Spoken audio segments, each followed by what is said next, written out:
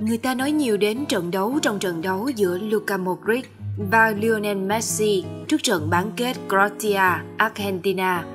Nhưng nếu Messi được ví như một vị thánh để cứu rỗi linh hồn của La Albiceleste, thì Modric bình dị hơn, chỉ là một lát chanh đang bị tắc kiệt đến từng giọt khát vọng. Modric chỉ đá 97 phút trong trận marathon với Nhật Bản ở vòng 1-8, nhưng đến tứ kết, tiền vệ nhạc trưởng 37 tuổi này là một trong những người sút luân lưu. Huấn luyện viên Dalic có giải thích sau trận Nhật Bản, chúng tôi có trách nhiệm phải chăm lo cho cậu ấy. Hay nói cách khác, Modric không cần đá hết trận Nhật Bản vì huấn luyện viên Dalic tin rằng kiểu gì đội mình cũng thắng. Nhưng khi đá trước Brazil thì ông buộc phải giữ Modric đến hết trận.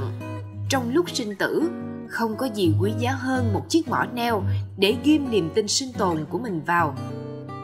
Nhìn cái cách mà Grotia dùng moritz, người ta hay ví von là đang vắt quả chanh đến cạn kiệt.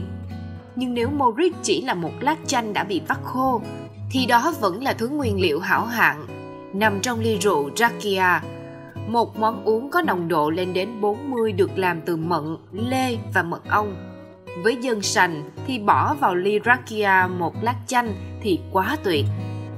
Rotia và Moritz cũng là một ly rakia như vậy.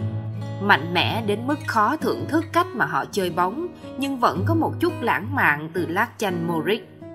Năm trận thắng gần nhất ở vòng đấu loại trực tiếp World Cup của Croatia đều diễn ra theo cùng một cách.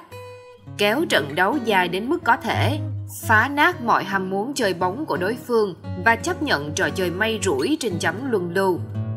Với 160 lần khoác áo quốc gia, Modric còn cài ải trên sân bởi người dân vẫn muốn được nhìn thấy anh. Modric không phải là mẫu cầu thủ chuyên ghi bàn thắng quyết định hay thậm chí là kiến tạo, mà anh là nhà tổ chức trận đấu bậc thầy. Có anh trên sân, Croatia sẽ tự nhiên thích ứng với mọi hoàn cảnh, mọi đối thủ chỉ nhờ vào những đường phân phối giữa sân của Modric. Croatia sẽ không cố gắng ngăn chặn siêu sao Lionel Messi của Argentina bằng cách kèm người, mà thay vào đó họ sẽ tập trung vào việc khiến toàn đội hình của đội bóng Nam Mỹ phải bất động trong trận bán kết World Cup 2022 vào thứ ba.